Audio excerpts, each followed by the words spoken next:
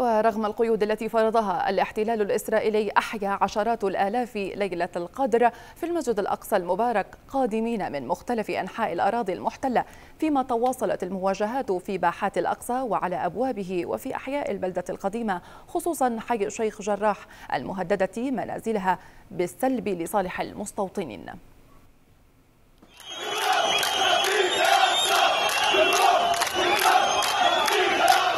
رغم التجديدات ومحاولات المنع والإغلاقات والحواجز عبر الفلسطينيون من الضفة الغربية ومن الداخل المحتل عام 48 إلى أقصاهم لإحياء ليلة القدر. حملهم أبناء القدس حملا إلى المسجد الأقصى غير آبهين بكل إجراءات الاحتلال وتعزيزاته.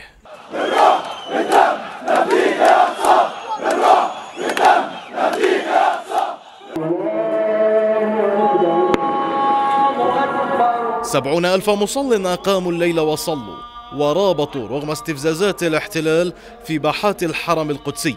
دعا المصلون بسداد الرمي للمتصدين لإجرام الاحتلال في أحياء البلدة القديمة. اللهم عليك بأعداء المسلمين فإنهم لا يعجزون. استفزازات الاحتلال على حالها منذ مطلع الشهر الفضيل بل وتتصاعد. قنابل الغاز والقنابل الصوتية أطلقت بكثرة صوب الفلسطينيين المتجمهرين على أبواب الأقصى. أبرز حالات المواجهة كانت عند بابي العامود والسلسلة فيما استخدم الاحتلال سيارة المياه العادمة في الاعتداء على الفلسطينيين من الرجال والنساء وكبار السن والأطفال. عائلات بأكملها أصيبت حيث سجل الهلال الأحمر الفلسطيني في المدينة ما يقارب التسعين إصابة.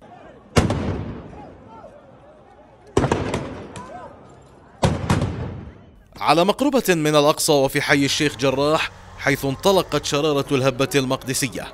لم يهدأ الحي رغم منع سلطات الاحتلال للمتضامنين والمؤازرين القادمين من مختلف مدن الداخل ومناطق القدس من الوصول إلى داخله.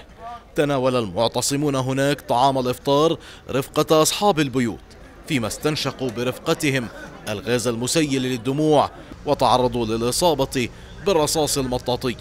فيما استمرت عمليات اعتقال سكان الحي والمتضامنين معهم في مختلف الأنحاء.